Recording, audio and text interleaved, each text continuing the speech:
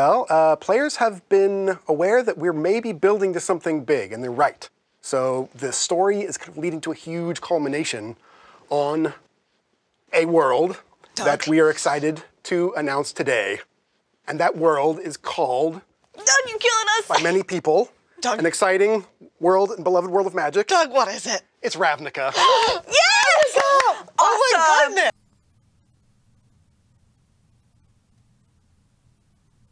Are you Desperation is a stinky cologne. Return to the return to Ravnica. Correct. Return to the return to Ravnica. Correct. Return to the return to Ravnica. Correct. So it's the same Ravnica you know and love, but just with a little twist. So the first thing you'll see in the artwork in general is a change of seasons. It is now autumn on Ravnica. That's your big bold announcement? Holy shit. Wait, wait, guys. I know we've been to Ravnica not once, not twice, but now thrice. But wait, wait, wait, wait, wait, wait. Start putting your money aside now because it's fall.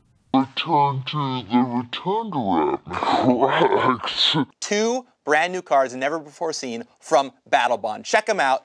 Pir Imaginative Rascal and Toothy Imaginary Friend. Are you kidding me? An imaginary friend card? I guess this is what you can expect from grown adults with the minds of children. And what's with this fucking art? Enjoy your Wakanda comic book. Uh, let's see, who else? Uh, Gruul, of course, uh, being the anarchists of Ravnica. We just, it's unapologetically balls to the wall, inspired by the 70s, 80s punk scene. You need a piercing to get in. You need a dozen piercings to get in. And a mohawk. yes. And apparently, all you need to do is have seen Mad Max, because that's the level of creativity we're getting from this art direction.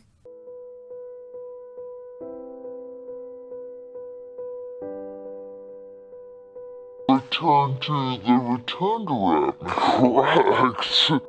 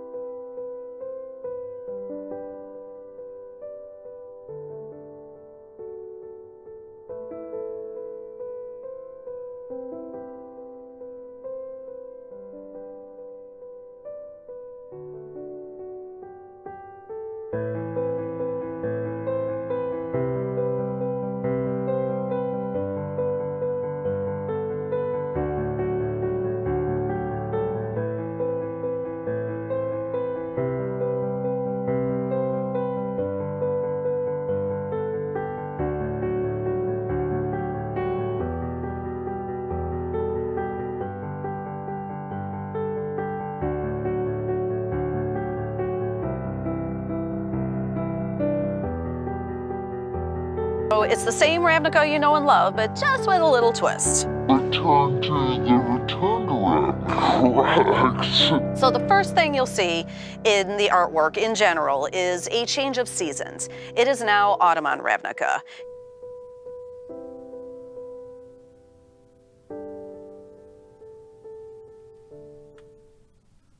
I mean, I don't know what else to say. The SJW ideology has finally completely killed creativity in Magic. I know I try to keep these videos on the quartering, but I just, this is, we have reached peak fucking Marvel right now. Where if you look at the actual, like, remember how everyone made fun of Heather Antos for putting herself in her own comic book? That's exactly what they're doing with the Battlebond packs, where they have this blue haired, hipster looking chick with a half sleeve of totally woke tattoos.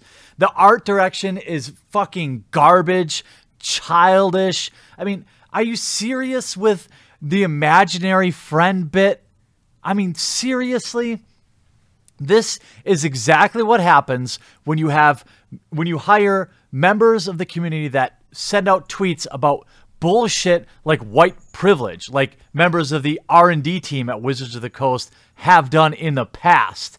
I mean, this is I don't know what else to tell you. I have been saying for over a year now and you would not be surprised, most of you, by just how many people have emailed me in the past six months and say, damn, dude, you were right. I just received about a six page email today about just that very thing. I told you this is what SJWs do to your hobby. They fucking kill it. They are incapable of creating anything. They can only come in, take over, and destroy. Why do you think Marvel Comics is in the shape it is? Where, where are all these new and exciting IPs? No, you hire these type of people that think this way, and they come and they say, "Well, instead of coming up with a new uh, strong character, let's just make Hulk a woman. People will love it." You know, I know Squirrel Girl's really selling great. You know, let's let's turn Captain America into a Nazi. That's really woke. Let's make all of our comic books about how white men are, are trash. These are the same people that work at Wizards of the Coast. Look at Mark Rosewater's Twitter. He has an obsession, an obsession with a cancerous ideology. When the person in charge of the company is tweeting about white men having privilege, when 90%, 95 to 98% of the players that play your game are white and male, you have a problem. You have the creators of your game openly disliking its customers. This is exactly, exactly what happened to Marvel Comics and is happening to Magic. And I told you this shit was going to happen. I told you all. And a lot of you listened. A lot of you did. And a lot of you have joined the fight against this. Magic sales down 20, almost 25% year over year. Now, is it all the SJW ideology? No, but you hire idiots that obsess about that kind of shit and they churn out bad product. And now they've gone complete desperation mode.